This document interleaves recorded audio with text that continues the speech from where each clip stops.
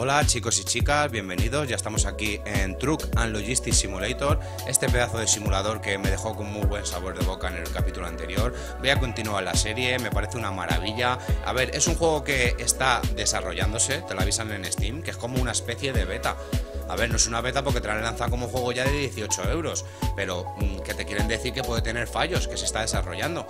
Bueno, en el capítulo de hoy me he comprado esta furgonetilla, esta furgoneta plana, ¿vale? Vamos a cambiar ya de mecánica para ver cómo se va desarrollando el juego. Quiero ver más, más características que tiene en las cargas. Y como veis, bueno, es de noche, no se ve mucho, pero, pero también está muy chula. Eh, me ha valido un poquito más que la otra, con los viajes que he hecho yo libres me la he podido comprar. Y nada, la característica que tiene buena con esta, este camión que hemos cogido ahora, eh, con este camión plano, es que vamos a poder meter más pales en la mercancía, en la, en la carga. Eso significa que nos van a dar más dinero. ¡Oigo! ¡Oigo! Ah, mirad, pues eh, la física de los choques eh, funciona perfectamente. Habéis visto, ¿no? Vaya, vaya talegazo. Ni le he visto, ni le he visto. Si es que no estoy, no estoy acostumbrado, estoy perdido aquí en este, en este mundo nuevo tan maravilloso que, que tiene unos gráficos espectaculares, como estáis viendo. Bueno, lo que os comentaba, que me he cogido este camión plano y lo que nos va a pasar con este camión plano, mira, como veis, nos dan más dinero porque vamos a poder meter más mercancía de la que metíamos en la furgoneta pequeña. Es lógico. Así que a más carga, más dinero. Ya nos han habilitado un poquito los viajes más largos. Vamos a hacer un viaje un poquito más largo para que nos den un poquito más de dinero. Y entonces a ver si en dos o tres eh, viajes que haga yo también por libre, ya me puedo comprar el Scania. Y vamos viendo más, más cargas que tiene este juego, que es espectacular. Bueno, pues volvemos a coger el torito. Y como vemos, pues tenemos eh, nuestro camión plano, ¿vale? Que podemos echar dos pales y luego vamos a enganchar el remolque, que vamos a enganchar otros dos pales. Entonces ya podemos llevar cuatro a comparación con el primer capítulo, que solo llevamos dos. Ya esto es un progreso, ¿ves? Con cada vehículo que nos vamos cogiendo, nos van a dar más dinero y las cargas van a ser cada vez más pesadas y más, y más eso. Nada, el Torito es una maravilla, chicos, es una maravilla. Tiene una sensibilidad al volante excelente, o sea, excelente. Es que, es que parece de verdad que estás llevando un torito. Y esto tiene que mejorar muchísimo todavía. O sea, no me quiero imaginar cuando esté esto mejorado del todo. O sea, esto, esto está muy bien. Yo ya le he cogido un poquito el truquillo, como veis, ya. Voy a cargar este por el lado y el otro le cargo por adelante. Como se haría en la vida real. No vas a cargar los dos. Sí, bueno, puedes meter uno y empujarlo con el otro, pero mejor así, ¿no? Porque ya que tiene la base esta plana y tiene por los lados eh, para poder metérselo, pues mejor hacerlo así, más realista.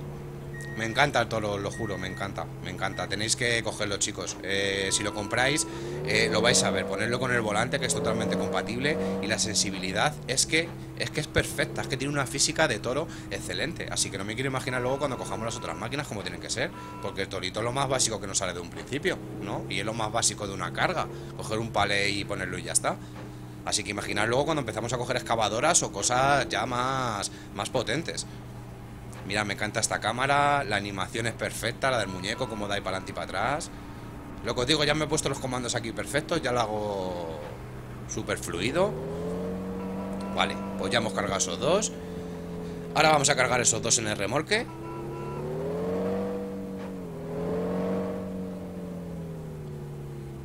Vale, vamos a enganchar este primero.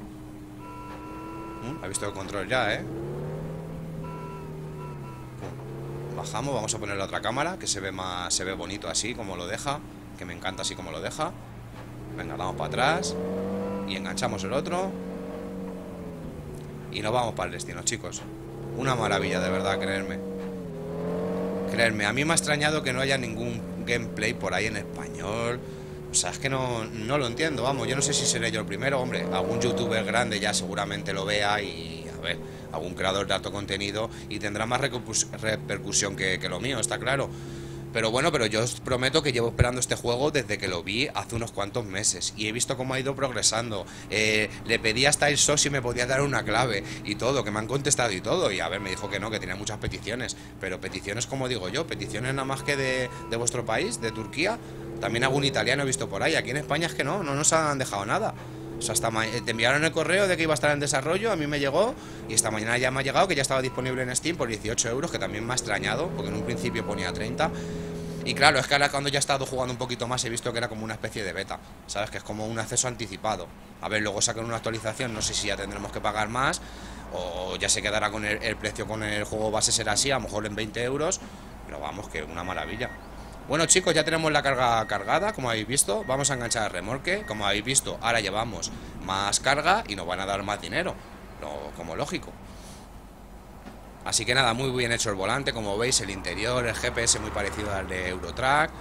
Y nada chicos, bueno, ahora es un viaje largo, así que vamos a meterle un poquito de caña, así aprovechamos y vemos todo desde otra perspectiva, os lo voy a ilustrar para que lo veáis desde, desde otro lado, ¿vale? No aquí como tan monótono, tan monótono conduciendo, porque va a ser un camino por lo menos de 10 minutos real.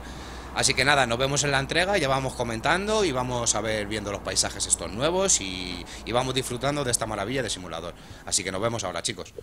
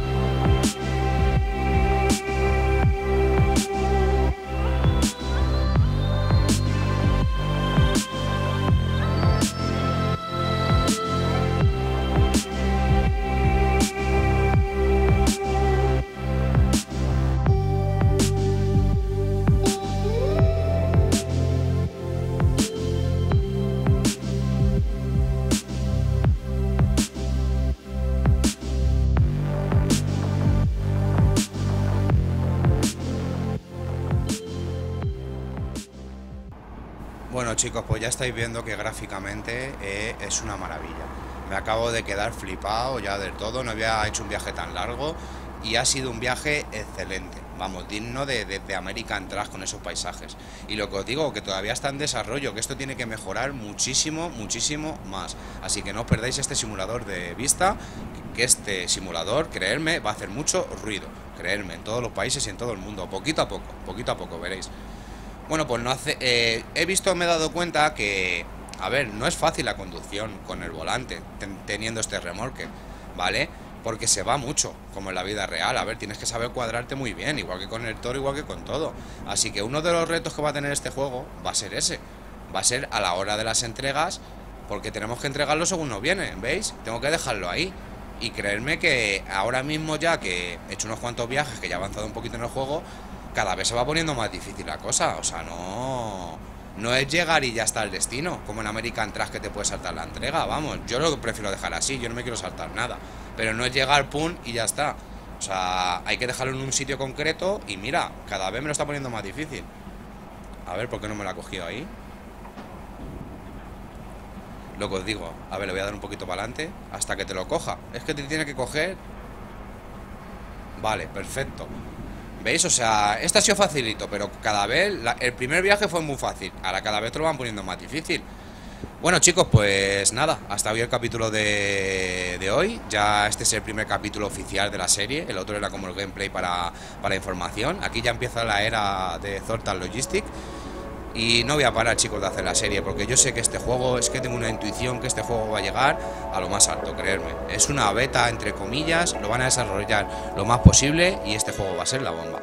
Así que nada, nos vemos en el próximo capítulo, os, os seguiré enseñando cosas, seguiré yo investigando por mi cuenta para presentaros los mejores eh, momentos, no solo hay que sea tan monótono capítulo a capítulo. Y nada, chicos, gracias por todo y nos vemos en el próximo vídeo. Hasta la próxima.